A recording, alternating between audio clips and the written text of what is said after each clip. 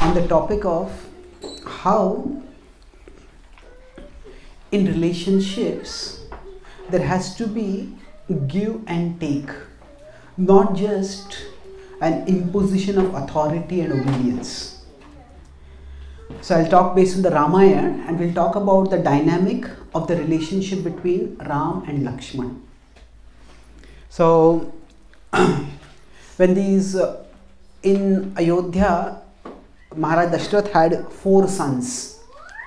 Does anyone know who are those four sons? Yes? Ram, Lakshman, Shatrughan and Bharat. Excellent, thank you. Good. So, among these, two two formed a very close bonding. So, who are the two who formed very close bondings? And thank you. And yeah, Ram and Lakshman, and the other. Yes, thank you, both of you. Excellent. So now, what happened is that Ram was the oldest among all of them. So naturally, because of that little seniority, uh, because he was older, so he was respected. But even when he was respected, it is not that Ram always demanded obedience. See, in general, whenever we interact with each other, what happens is that we have a particular power dynamic in the relationship. Power dynamic means, say, maybe one person is more powerful, the other person is less powerful. Then the person is more powerful, that person can lay down the law, say, you have to obey me. But if a relationship is based only on that, that is imposing the law and obeying the law, then it's not a very sustainable relationship. What happens is that in such a, a, a dynamic, sooner or later, the relationship wears out. So e- this this is seen even in the animal kingdom. Now, if we consider, say, just like children play games, like animals also say when there are small rats, small mice, they also play games. And ethology is a branch of science where it is the study of animals in their natural habitat. So ethologists have found, say for example, if two mice, two mice are playing, and say one mouse is slightly bigger than the other mouse, then if the two of them are playing rough and tumble, you know, who can push the other person down and dominate the other other mouse? Naturally, if say one mouse is about 20-25% bigger than the other mouse, the bigger mouse will naturally win. But after some time, even among mice, they have the understanding if the bigger mouse keeps winning constantly, then the smaller mouse stops wanting to play. And when one mouse is bigger and the other smaller, and the other mouse is smaller, then what happens? Whenever this, ex, whatever experiments have been done under labs laboratory settings, the smaller mouse has to invite the bigger mouse to play. Because let's play.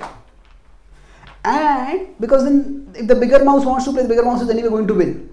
So the smaller mouse has to invite. And if the smaller mouse refuses to play, doesn't invite, then they can't play.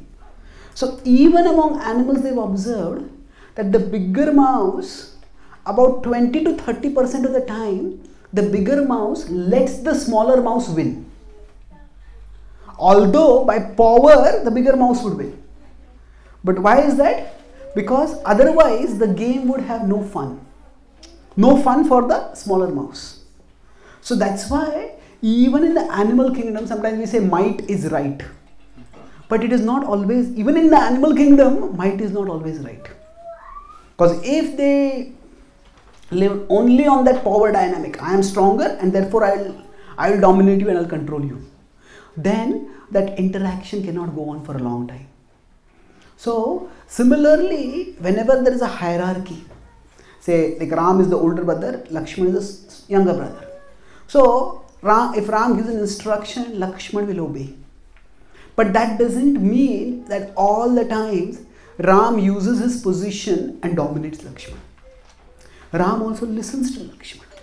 And sometimes there are times when Lakshman also instructs Ram.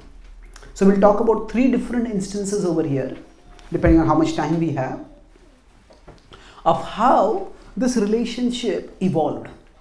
So, first instance is when Ram, Lakshman, and Sita were living in the Dandakavan, at that time they went into the there was this magical deer who came over there. This deer was actually a demon. Does anyone know the name of the demon? Yeah, Ravan came also in disguise.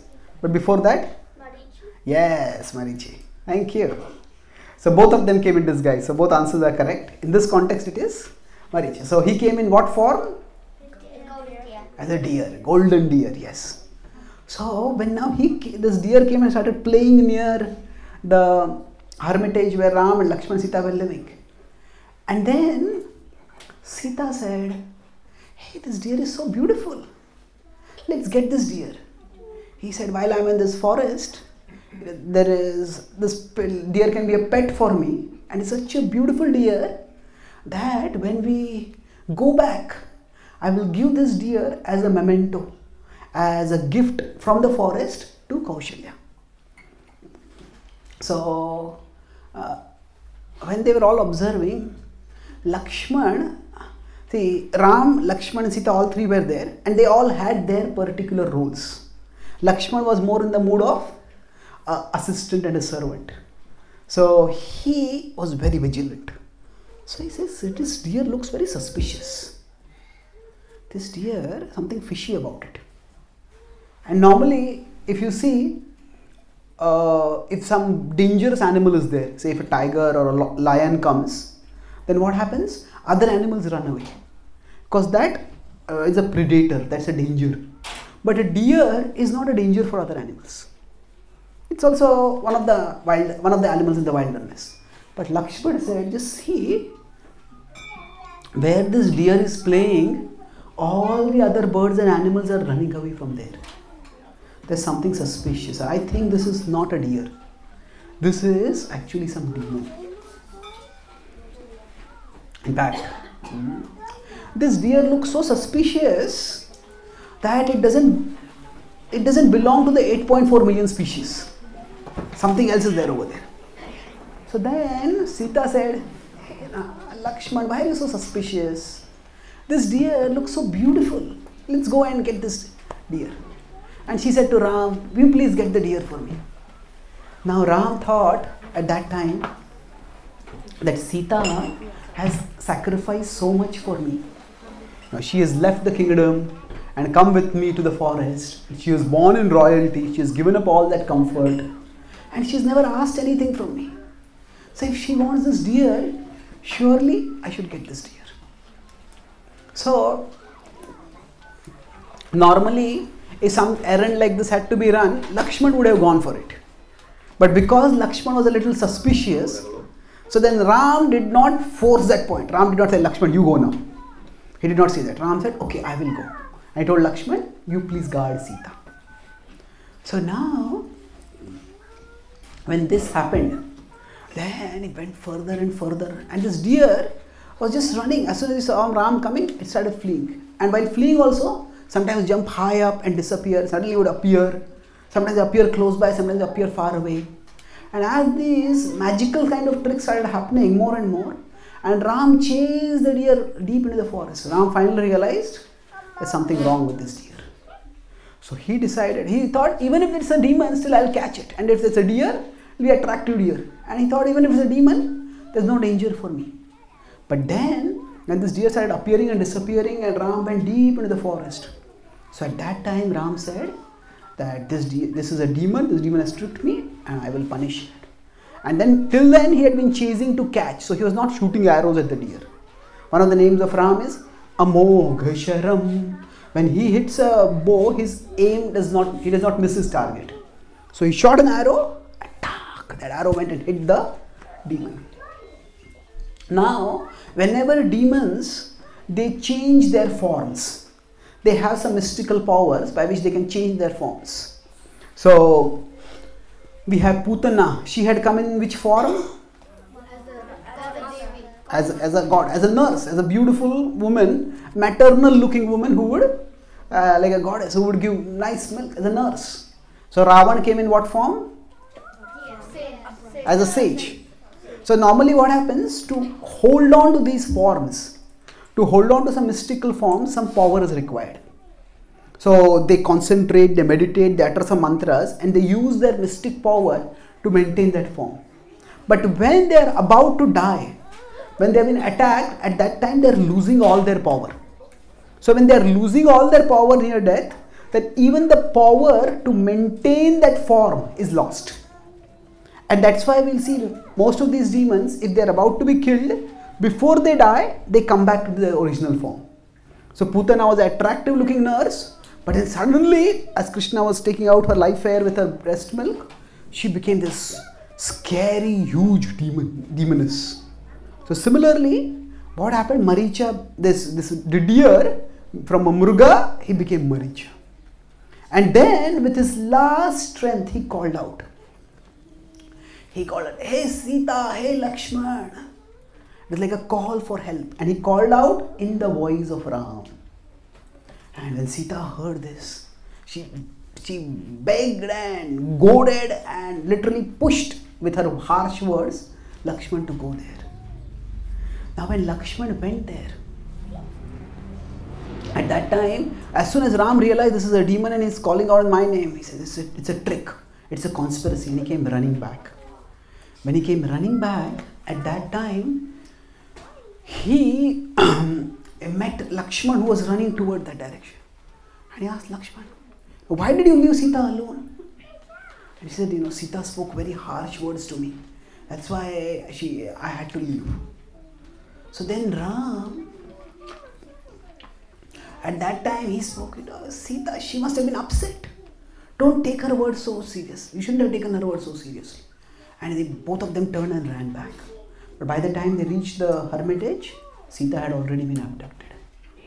Now, at this point, it is important that what did Ram and Lakshman do? Now, Ram was devastated, Lakshman was also very, very shocked. It's when things go wrong, it is very easy to start blaming each other. Lakshman could have said, See, I told, there's no need to chase this. This is not a deer, it's a demon. He did not try to prove his point. You know. Now, there are four words which are very satisfying to the human ego. Hmm? That is, I had said so. if we tell someone don't do something and then they do it, and then they get some trouble because of that. Now it's it's very obvious that they are in trouble. So if at that time I had said so, you know, it's like what happens? Not only they have made a mistake, they have made a mistake, and now we are catching their head and putting their face in the ground. So it's very easy either to blame the other person, and especially if some mistake has been made, then to blame is much more easier. But Ram, Lakshman did not do that. See, I had said so. Why did you go after? He did not go after that deer. And although Ram initially spoke, Lakshman, why did you take Sita's word so seriously? But he did not harp on that again. Now, what has happened has happened. This, uh, life situations are such that even among those who are very close to each other, sometimes situations will come in such a way that something terrible will happen. And then what there are three ways in which we look can look at it. One is broadly I am right or you are right or what is right.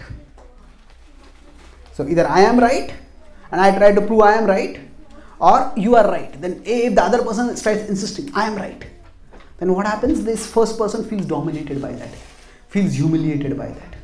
But not I am right, not you are right, but what is right.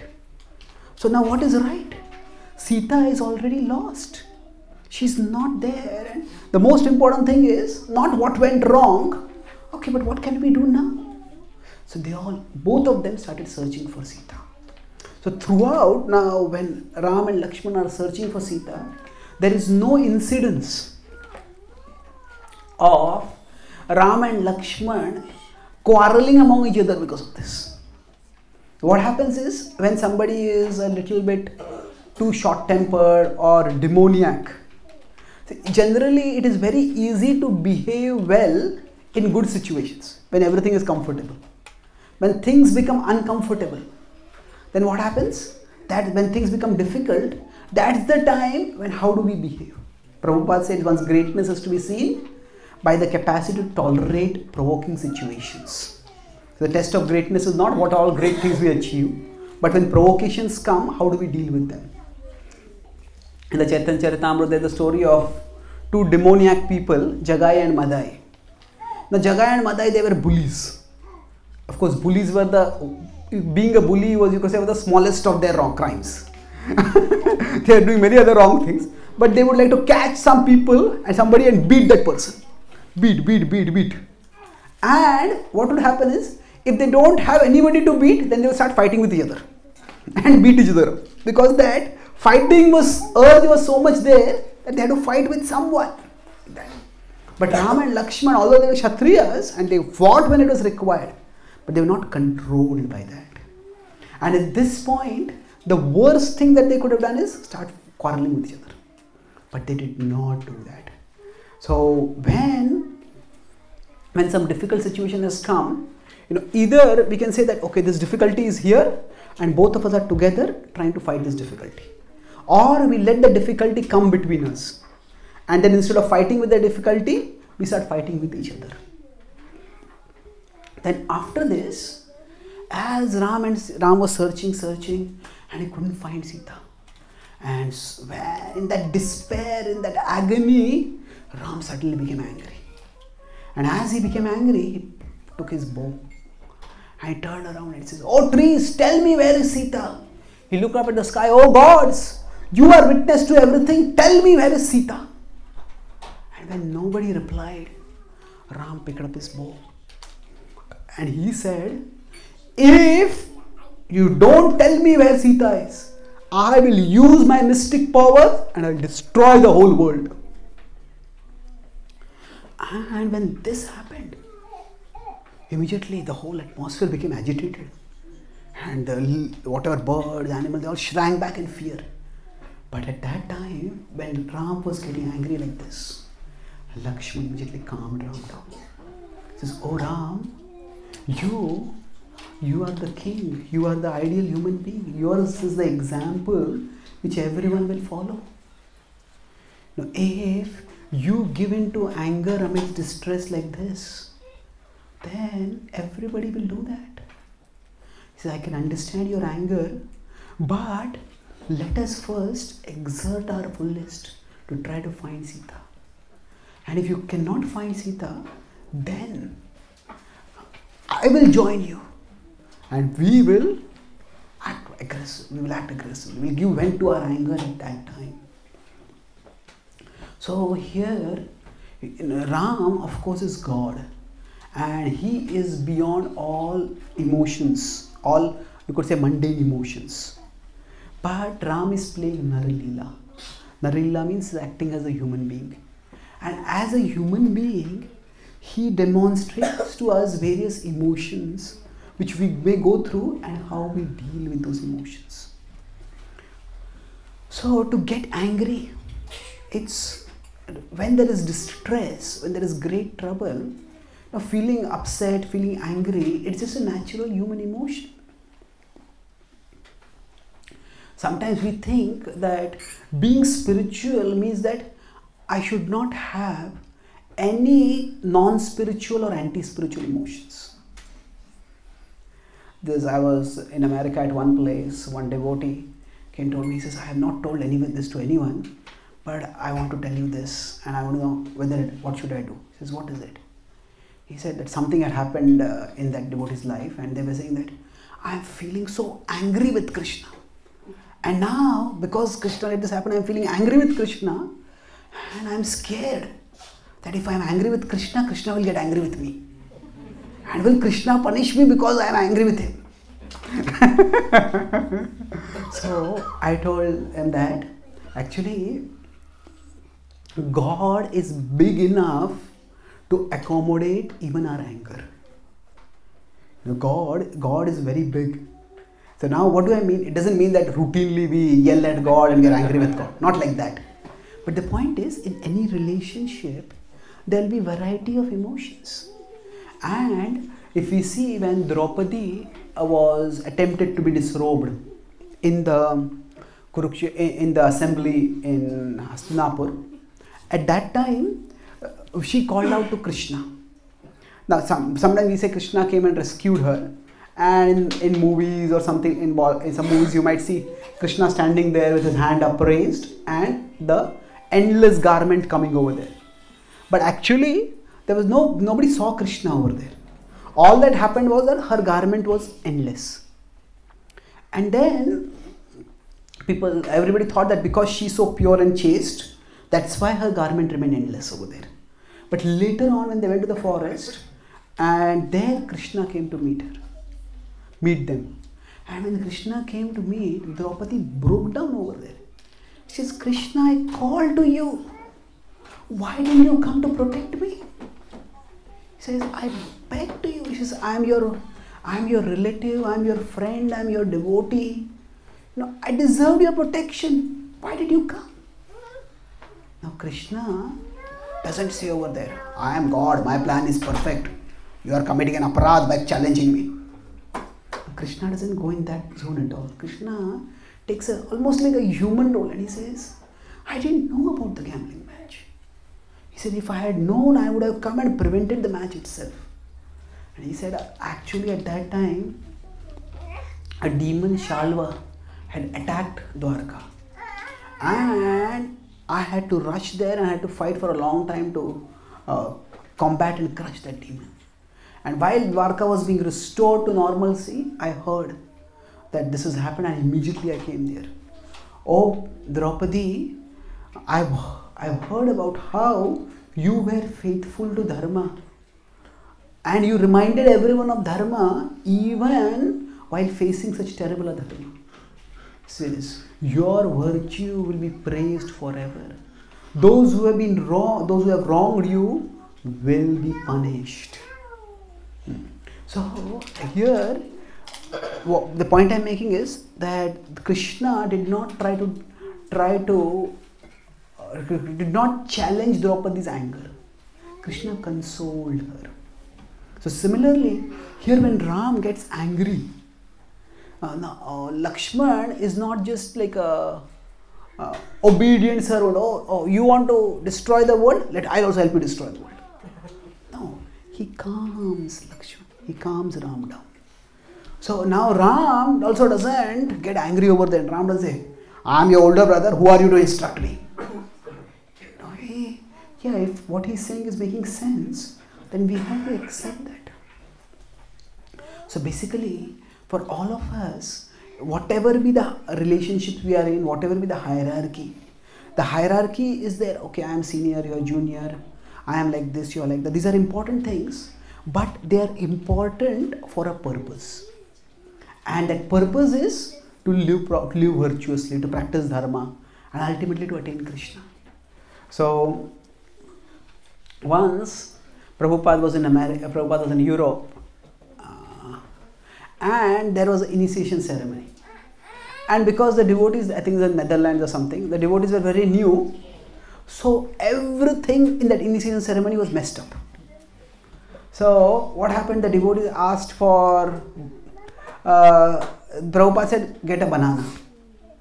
And they got a banana and then they peeled the banana and they made banana salad out of it. Then Prabhupada asked for flowers and then they made a flower garland out of it. And one after another, after things started going wrong.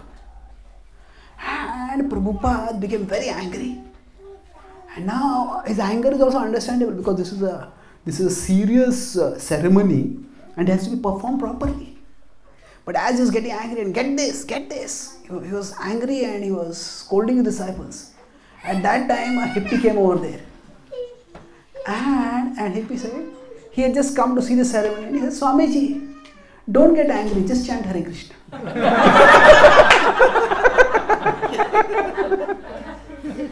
and amazingly enough, Prabhupada looked at him, uh, picked up his beads, and Prabhupada chanted, started chanting Hare Krishna. now, what does it mean? This Prabhupada's anger was for Krishna's service. And that anger also is an expression of concern. But at that point, when even a person who doesn't know anything about chanting, he just heard, maybe he has heard only from Prabhupada only chant Hare Krishna. And he's telling Prabhupada. Prabhupada did not take it as, how dare you instruct me? Prabhupada took that and he taught us by that. So these are Leelas. So Ram is beyond all anger. But when he comes in this world, he demonstrates how, when we face the challenges of life in this world, how to go through those challenges. So if we get angry, all of us say if, if somebody might be a great heroic warrior and they can fight and they can destroy legions of soldiers in the opposite rank. But if they become wounded, say their foot gets wounded, they might need some shoulder to lean on. That doesn't make them weak permanently, but at that time they are weak. So, like that in our lives, sometimes we might just become weak. And when we become weak, if we always think that I am in a higher position, you are in a lower position, then we will not be able to function. So, Ram took advice from Lakshman. Now, further, if we go, and Ram and Lakshman, they they met Sugriv, and then Sugriv was installed as the king. But after Sugriv was installed as the king, then immediately Chaturmasya, the rainy season started. Now at that time, normally we would say if somebody is lost, so Sita is lost, and why would just, just let some rain stop them from finding searching for Sita? No, it's a, somebody being lost is far more serious. In the rains also you can search. But that time what had happened because uh, Vali was the son of Indra and Vali had been killed. So Indra got very angry. And the rains that Indra showered at that time was unprecedented.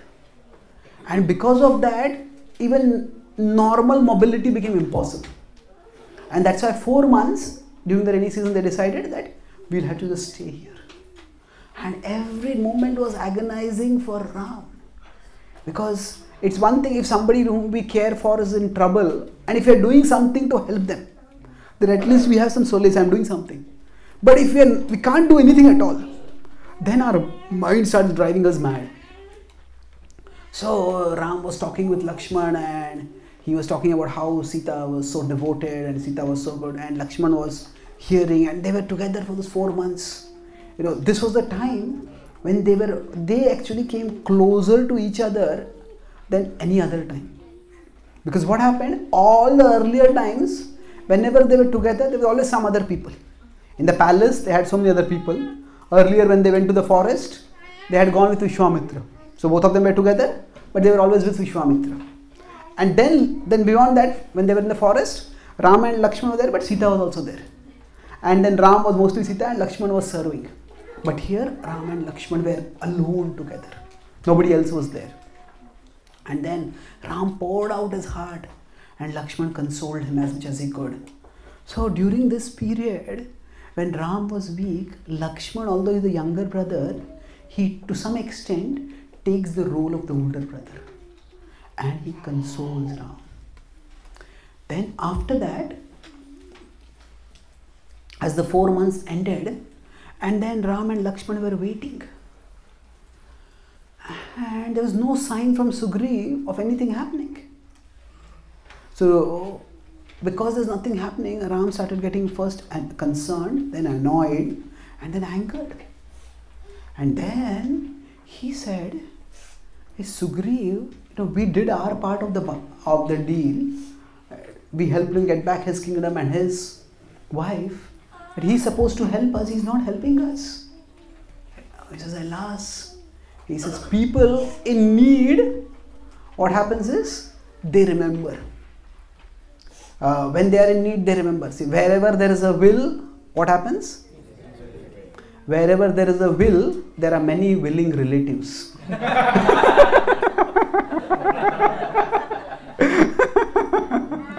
so, if somebody has an inheritance, then the relatives who may never have come, they all start coming and start asking for how are you doing well. They hope something.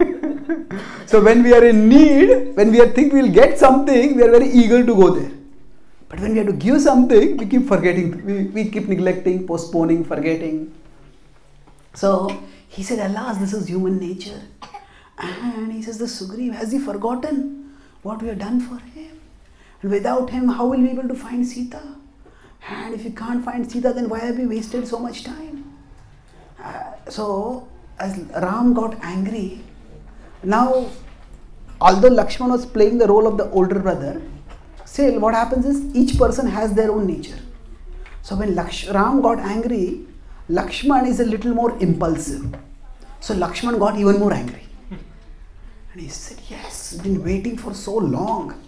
And Sugriv, if he has forgotten, he says, I will go to Ayo, I will go to Kishkinda and I will punish uh, Sugriv. He says, and if he doesn't listen, I will destroy him and I will destroy his whole kingdom. So Ram said, hey, cool down, not so fast, not so fast. What happens sometimes that if somebody in a senior position they get angry then their anger can be taken by their juniors as a justification for their anger and sometimes the juniors express that anger in a far bigger way isn't it? So yeah in a two three uh, in the daksha pastime uh, uh, basically when lord shiva was disrespected by daksha at that time his servants got very angry and they said how dare shiva be disrespected? They started attacking and cursing the brahmanas who were there. Not just daksha but also the brahmanas. And then we might say at one level it is justified now for them it was their guru who has been offended and it's a guru aparadh how can they just passively hear it they should they should respond but the point is there may be particular rule that we should not hear the often attack or criticism of our spiritual master or our senior Vaishnavas. But the point of this is that we should act in a way that makes things better, not makes things worse. So yes, we need to defend our spiritual master, but defend in a way that makes things better. If you defend in a way that starts making things worse, that is, you speak like this and I speak like that, and then one harsh word and then ten harsh words and then hundred harsh words and then it just escalates. So here, as soon as Lakshman said, I said, "No, I will destroy Kishkinda, so immediately Ram said, No, no, no, no, uh, don't do that. He says, We don't know what has happened, but first go and inquire and restrain your anger. Restrain your anger, give, find out what is happening. And then, if he is, he is not ready to do his duty, then we will decide what to do about it.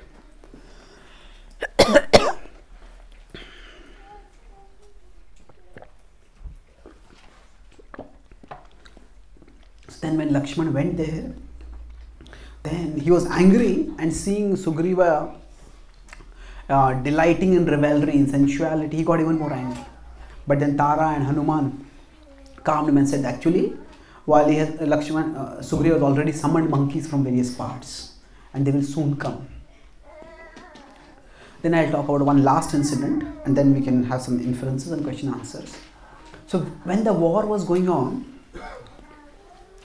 there are various occasions in, in, in the war that Ram and Lakshman fought together and basically Indrajit, Indrajit, Kumbhakarna, Ravan, these were the most three were the most formidable warriors on the uh, side of Ravan. And Indrajit among them was the most cunning. So Indrajit once, by attacking invisibly, he attacked and felled both Ram and Lakshman. But then uh, Garuda came and he revived them. Then Indrajit felled them again. Then Hanuman went and got the mystical herbs with the hill. Then afterwards, when Indrajit was killed by Lakshman, Ravan came to the battlefield again. And that time Ravan was furious. And being furious, and especially he was angry at Lakshman. Because Lakshman, you, you killed my son. And he used all his power to target Lakshman. And Lakshman fought heroically. He fought and fought and fought. And, Sugri- and it was a fierce battle that was just going on and on and on. And finally, Ravan took a mystical weapon that he had got from the that he had stolen from the Devtas, and he shot that. And now, whenever these arrows would be shot, the warriors would have three broad strategies. One is counter the arrow, attacking arrow with their own arrow. Second is you know use their own chariot or move aside so that they dodge the arrow. Or third is let the arrow hit them, and if they have a good armor, then the armor will withstand the arrow. So Ram Lakshman was fighting, and he saw this mystic missile coming. He tried to counter with his arrows, but nothing worked. And then it went and pierced his chest, and it created a hole in his chest, and it went through him completely. And Lakshman just fell, almost like dead. And seeing this, Ravan immediately jumped down from his chariot. He thought that if I can hold Lakshman as hostage, then I have Sita already. But you know, he couldn't harm Sita because he wanted Sita. But he said, I can threaten to kill Lakshman, and by that I can bargain with Ram. So he came forward and he immediately tried to pick up Lakshman. But what happened now? Lakshman is Anantashesh. He is the person who holds all the universes. And Ravan was using first his two arms, then he took his more arms, then he has his 20 arms. And he couldn't even move Lakshman. As Lakshman had fallen, there was a shock, you know, the whole, whole Vanara army. And Hanuman had been fighting far away. So Hanuman saw that and he started charging towards Ravan. And he charged towards Ravan and he, he roared loudly. And Ravan got distracted. Looked up at Hanuman coming, and before he could counter, Hanuman just bounded on him and hit him with both his fists on the chest. And Ravan fell back, and the blow was so forceful that you know Ravan vomited blood from his mouth, nose, and ears. bah, just fell back. And he was shaken, and by the time he just recovered and he looked right in front of him, Hanuman put his two hands under Lakshman, picked him up, and ran away.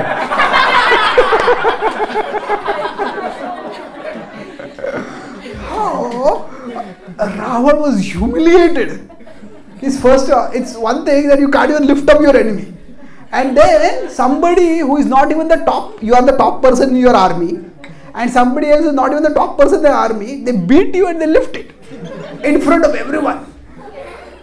And then by this time news reached Ram, and Ram came over there. So Ravan ran back to his uh, chariot, and from there he started fighting. Now Ram was furious, and Ram shot a series of arrows, and Ravan, he was so shocked by that that Ravan moved away from there.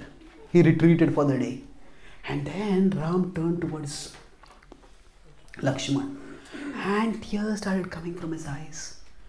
And at that time, Ram said that, Oh Lakshman, he says, he, he was touching Ram, Lakshman, he thought that Lakshman is almost like dead. He says, Oh Lakshman, he says, uh, your, he says, your mother Sumitra had entrusted me, you to my care.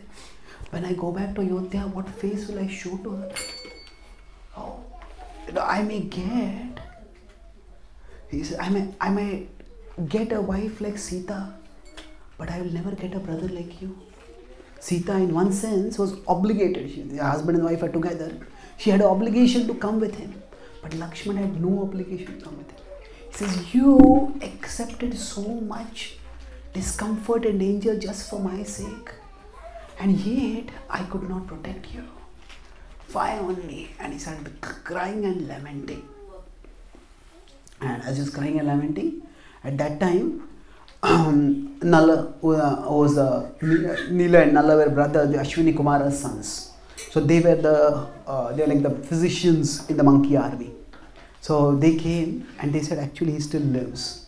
And then again the mystical herbs were used and he came back to life. But the point over here is that Ram acknowledges and knows the sacrifice that Lakshman has performed. So sometimes what happens when people are always with us, we start taking them for granted. See, when what happens, all of us, it's very ironic that uh, people with whom we don't interact much, say we are walking on the road and somebody comes along on the way and they say sorry it's all right. Or they're walking along the road and perfect strangers they say good morning how are you? We are polite with complete strangers. And then we come back home and with people who matter much more to us we are sullen and irritable and rude. So now what happens here is that people who are always with us we start taking them for granted. And then rather than uh, in every relationship there is a contribution and there is an expectation. That means what the other person is doing and what i'm expecting from the other person. So now both people have to have some contribution. If there is only contribution from one side there is only expectation from the other side. Then the relationship becomes strained. So when people are always there for us we can very easily take them for granted. And it is only when we are threatened with losing them that's the time we may appreciate oh god this person is so important for me. This person is doing so much.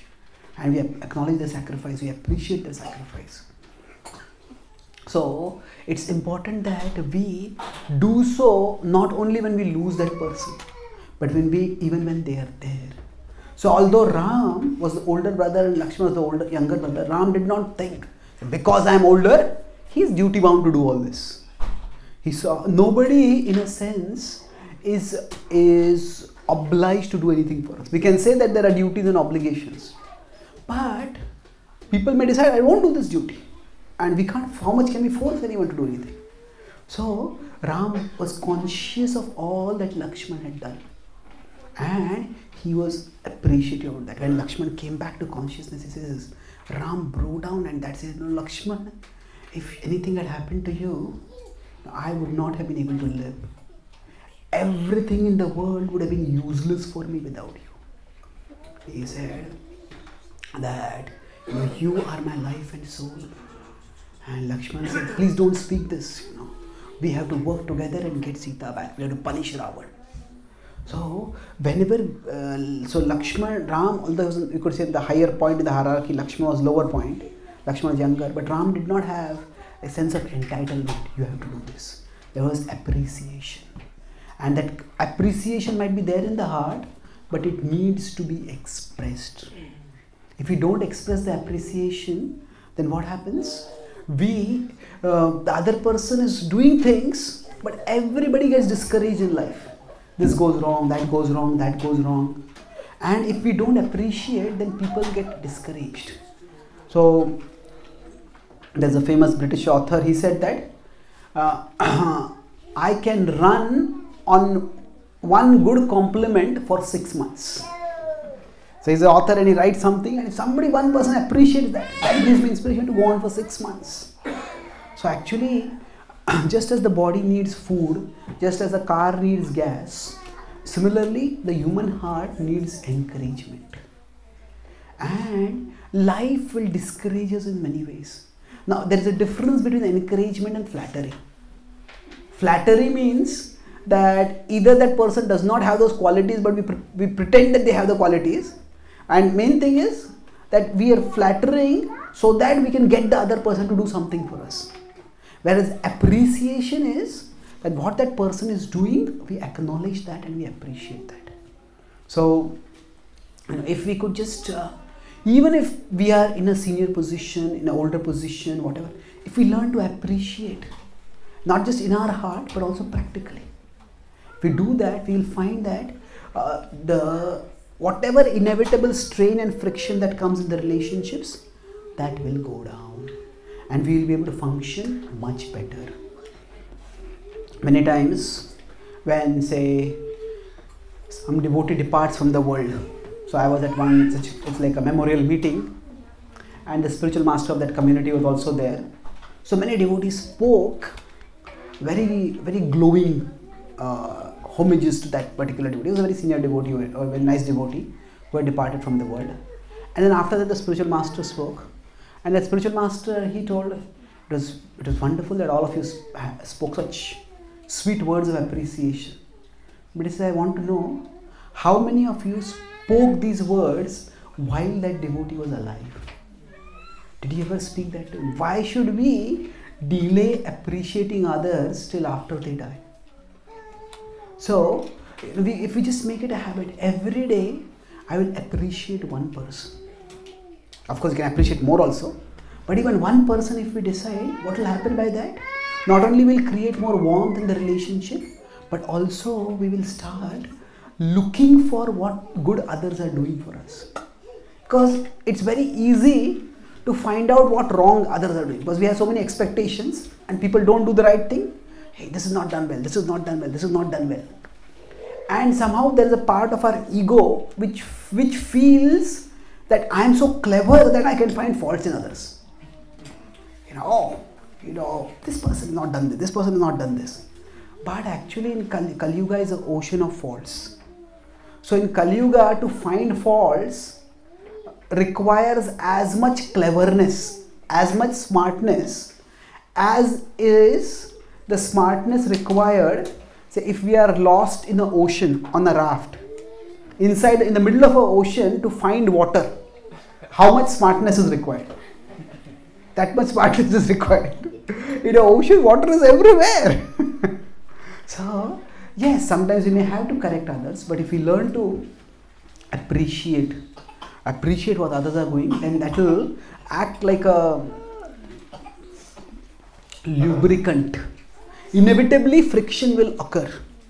But if we have been appreciating each other regularly, that will be a lubricant. And if, if friction occurs, then the, the grinding and the eroding will not be that much. So, we see this through the dynamic of the relationship between Ram and Lakshman that although they were brothers, although they were together, but even in their relationship, there were ups and downs and they all those ups and downs because they were both virtuous it brought all of them together more and more so similarly life we will go through difficulties but if we are devoted to krishna and we centered on that devotion then the difficulties will bring us closer to each other rather than tearing us apart from each other so i'll summarize i spoke on the topic of of the dynamics of the relationship between Ram and Lakshman. So, whenever there is any hierarchy in any relationship, the senior can expect obe- demand, expect or demand obedience, and the junior may obey. But if that is the only basis of the relationship, it will not be sustainable. And although Ram was the older brother and he was the heir, still he did not demand obedience always from Lakshman. So I talked about how in the animal kingdom also, my, it's not that it operates only on might. When mice are playing, a bigger mouse lets the smaller mouse win so that the smaller mouse will keep playing.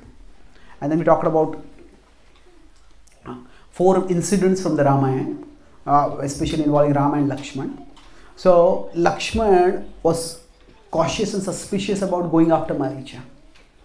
Uh, but and his suspicion was proven to be right but he did not he did not tell ram see i was right that is a very satisfying thing for the human ego to say i told you i told so i, I was right so he did not indulge in that egoistic temptation so instead of focusing on i am right or you are right we focus on what is right and then after that when they were searching for sita at that time Ram, became so overwhelmed by agony and anger, he was about to destroy everything using his celestial weapons. At that time, although Lakshman was younger, Lakshman calmed him down. He said that you, know, you are meant to set an example for others. If you give in to anger and destruction like this, what will other people do? And Ram did not become judgmental say, yeah, Who are you to tell me? So, uh, even Krishna did, God is big enough. See, when the Lord comes in this world, He acts to, He may, as a Leela, He may go through various human emotions to teach us how we also need each other. And I talked about Draupadi and Krishna's relationship also that, that Krishna did not claim his godhood and crush Draupadi's protest. God is big enough to accommodate our anger also. If occasionally there is some that kind of emotion arises. And the third incident I talked about was when Vali, when Sugriv apparently was not keeping his promise. So Ram first became annoyed and then angered, and then Lakshman became even more angered.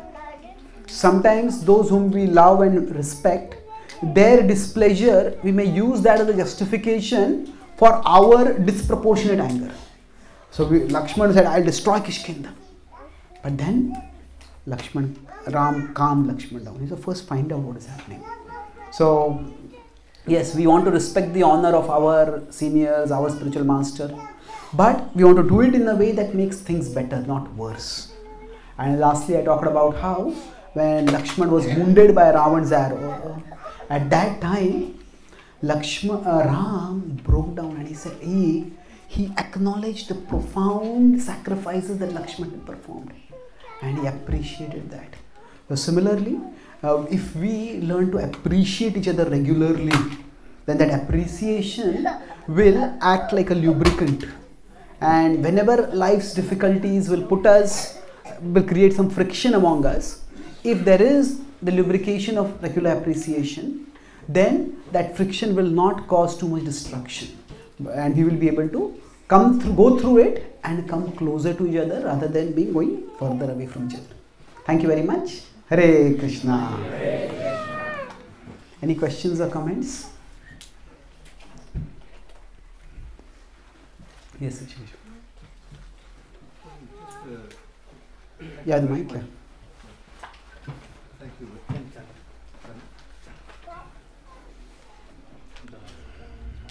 ऐसे ही पूछना no problem Prabhuji, uh, quite a practical class this was, and uh, the point you made that I told you so. And Practically, that's what happens. That may work out for person's personal life or when we're dealing with devotees, but some of us do have to interact with outside world, and rather we are prepared, taught to keep a record of I said so, to cover yourself in case things go wrong. How do we bring that practical education into the working life? Okay. It's a good question. So, often if you are working, then we may have to keep a record of, say, I said so, so that if something goes wrong, then we don't get blamed for it. See, there are different contexts. See, there is uh, there's a difference between taking responsibility and uh, passing on blame to someone else. See, it's not that if something has gone wrong, we take the blame even when we are not wrong. And it's not that we want to pass off the blame to everyone else. But still, if something has gone wrong, we have to, we have to find out what has gone wrong. But the point here is that in that particular relationship, we shouldn't demean the other person or make that other person feel so bad and discouraged that they quit. In a professional setting and a devotional setting, there is a significant difference in a professional setting, even if uh, the boss chastises strongly, Hare Krishna.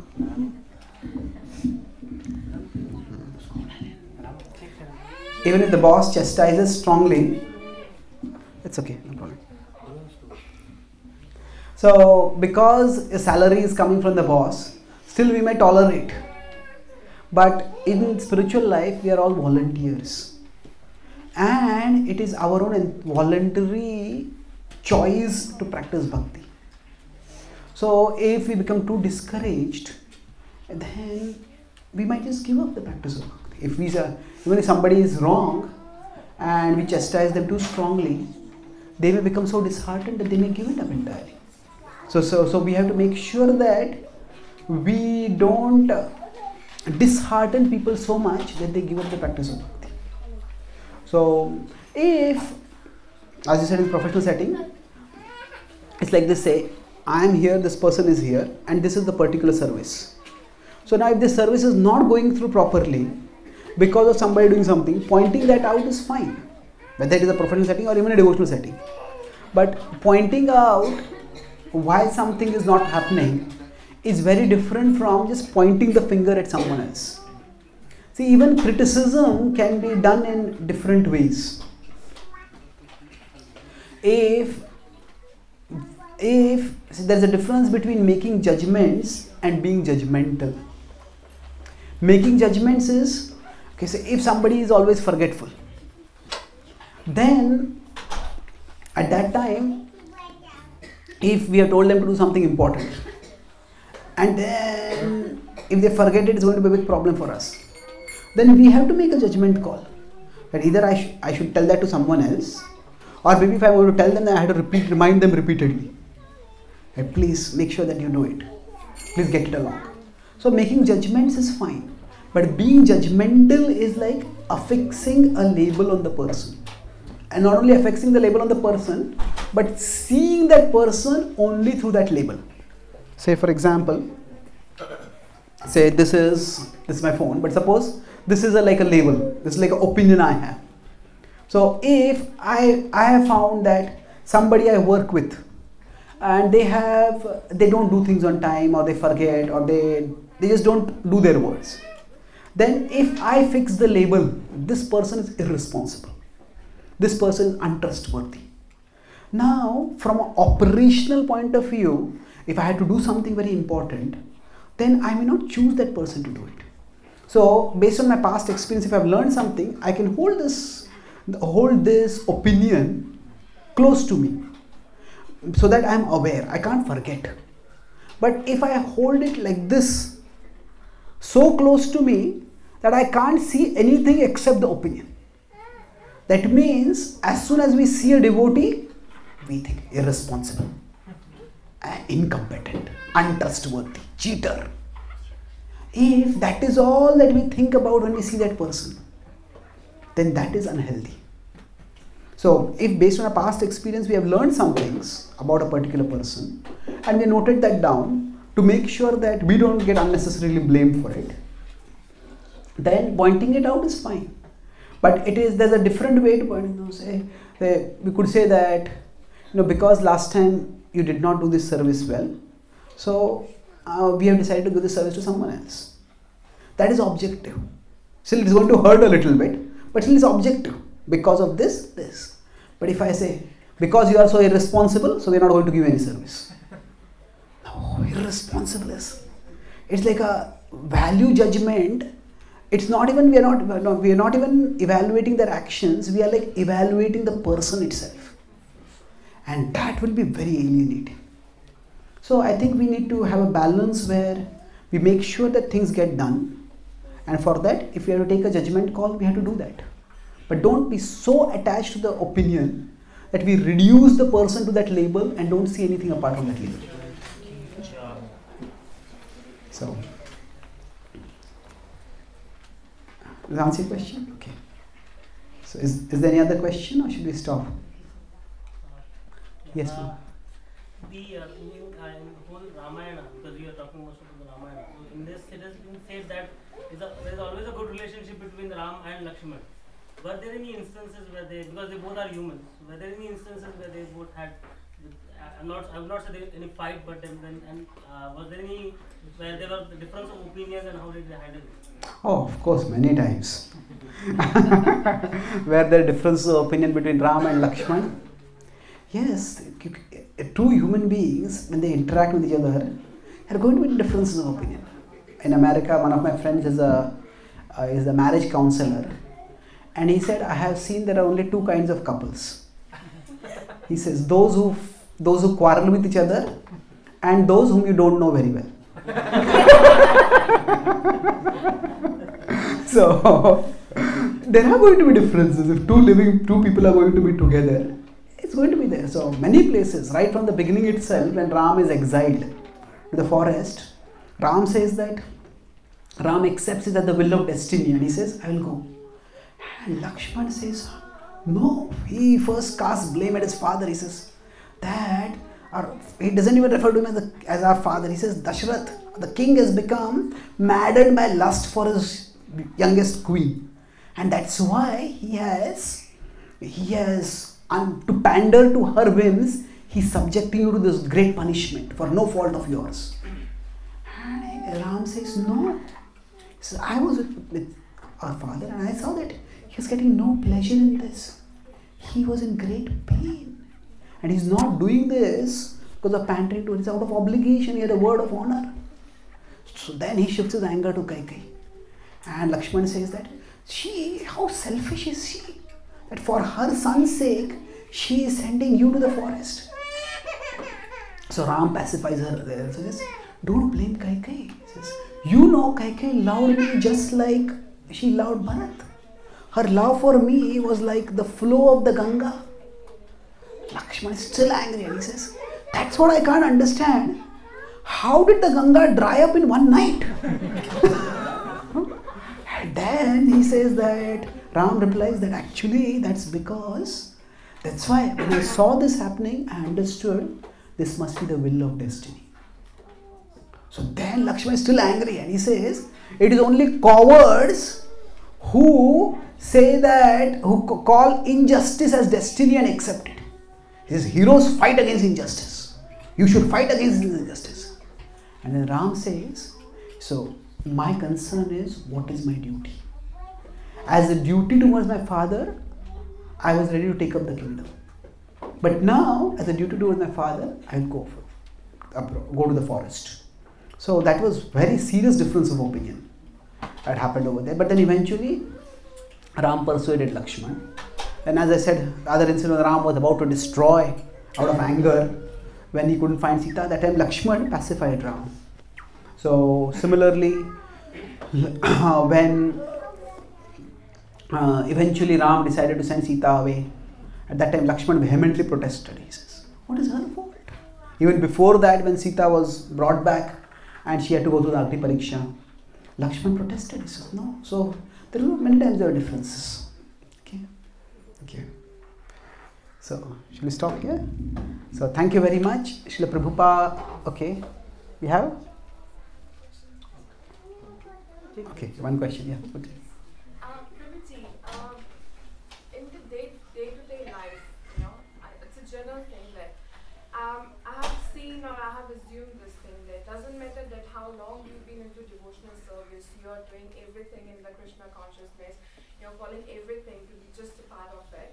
You're doing chanting and everything, but still there are situation comes where you lose your temper and you get really, really angry. Even the matter is not that big, but still you Hmm. get, you know, aggressive and you criticize the other person. And uh, you know, you just say what you're not supposed to say. You know, so how and what you reckon that one can do just to come out of this? Because this is actually very basic thing that we actually deal with on day to day things. Yeah. See, if despite practicing bhakti, we still get angry, uh, then what do we do at that time? The three broad things. First is that we have to learn to understand ourselves. If somebody had been very short tempered earlier, then what may happen is we may practice bhakti, but that anger may not go away immediately. It may immediately it may require some time.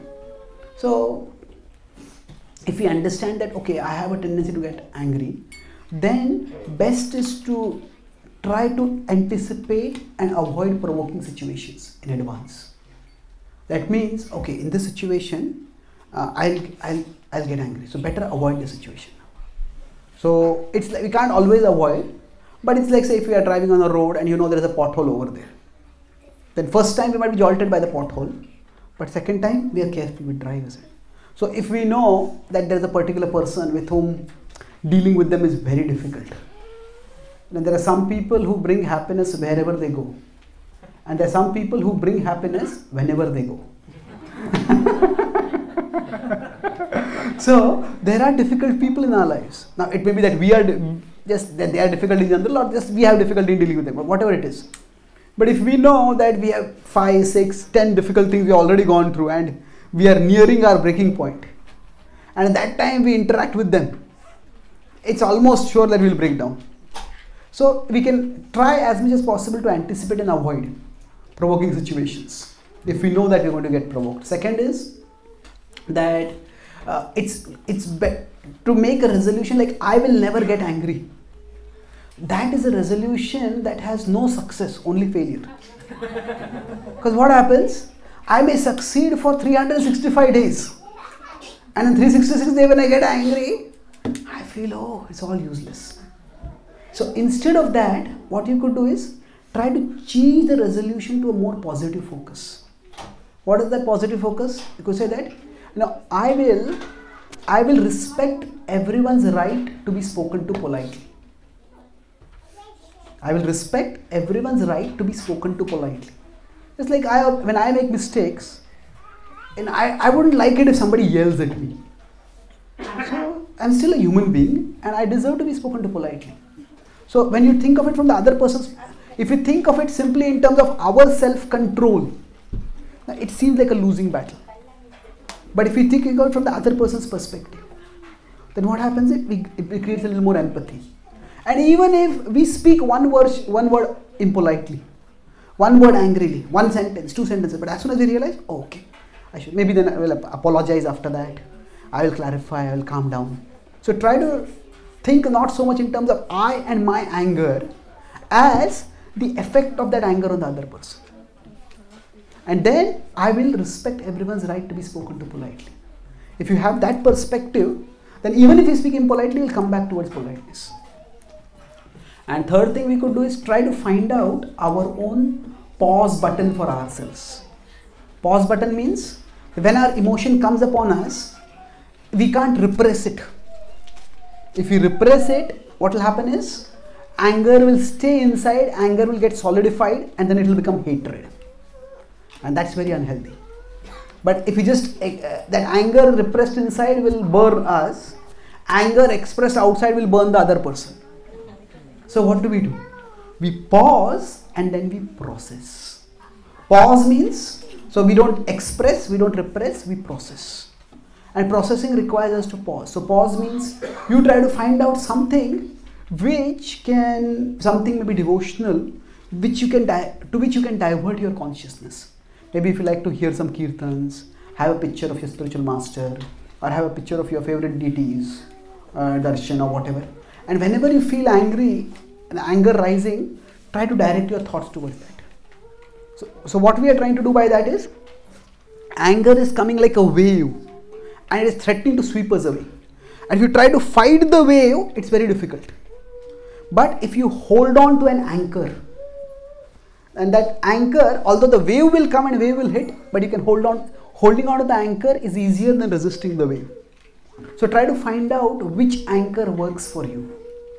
So, and once you find that, okay, you hold on to that, that's like a pause button. I'll pause. Not that I'm denying that I'm feeling angry right now and I cannot just wish away the anger. But I don't have to immediately give in to it. Calm down, and then once you calm down, then think a little bit about it. Okay, what exactly made me angry? And how can I express myself in a way that leads to the that solves the issue rather than complicates the issue. I try to follow a 24 hour rule. What does mean is that sometimes I because I travel so much I correspond with people on emails or messages or whatever. And sometimes people do such things make me so angry. So when I'm angry, I may write a very angry email. But for 24 hours, I will not post that email. And in those 24 hours, sometimes that other person only writes and clarifies something. I realize there's no need for me to get angry. Or sometimes they apologize. Or after 24 hours, I realize this is not such a big issue. Or if I still feel it's a big issue, then I can reread the email and then maybe soften some words. And then almost, I never, if I waited for 24 hours, I've sent the email as it is. I always soften the email and not that every time the issue has been resolved, but at least I can say that the issue has not got aggra- aggravated. So we could do these three things. Basically, learn to avoid provoking situations and see from the other person's perspective and try to speak in a way that you respect their right to be to, to be spoken to politely and then find your own pause button so that you can process the emotion and act properly.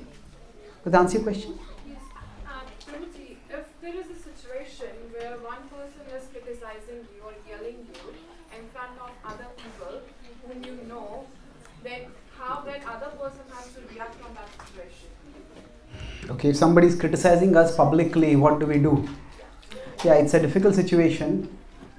See, in general, in cultured societies, uh, confrontations are dealt with privately. Mm. So, say even if some if parents have some issue and they want to quarrel, the parents will not quarrel in front of their children. Now they will usually they will maybe go in a private room or go somewhere and then they will deal with their issues. So because why uh, bring it out in front of the children? So generally in front of pub, in public, it's best if we can avoid that and we can develop that as a culture. But if somebody is just doing that in public, it is best that we avoid escalating the conflict in public. Now, how do you do that? That depends. Broadly speaking, we have three options. You know, confront them, confront not in a counter accusation, but confront by telling the facts, or we clarify to others, maybe when they are there or some other time, or we just neglect. Because if somebody is going to that extent of yelling in public, we may feel I am losing face because this person is accusing this me of this, but actually, people are also intelligent. If somebody is yelling like this in public, then then people also that person is also losing credibility. This is not the way to behave, and people understand this. See, what we speak about others also speaks about us. What we speak about others, it also speaks about us. So we might feel, oh, what will people think about me if this person is speaking like this? But yes, that's true, and ideally it should not happen. But we shouldn't we shouldn't get we shouldn't get too insecure because of that. Because in the world, people may accuse, and uh, that accusation will stay for some time, and then these kind of things don't last for very long. Uh, those who those who want, those who delight in gossip, uh, they may remember it and they may circulate it also, but only for some time till they find a new gossip to come up. so uh, these things will, if something like this happening, best is at that time we focus on not escalating it. Sometimes if like they are making some accusation and we give some statement, some facts, we just like deflate the whole thing. That might help. Sometimes we just walk away from there. Sometimes we give a fact-based clarification. So how to do it? So we either address that person or we address others at appropriate forum or we just neglect the whole thing. We find out what works the best. Okay. So thank you very much. Srila Prabhupada ki Gaur Bhakta Vrinda ki Jai Gaur Premanande Jai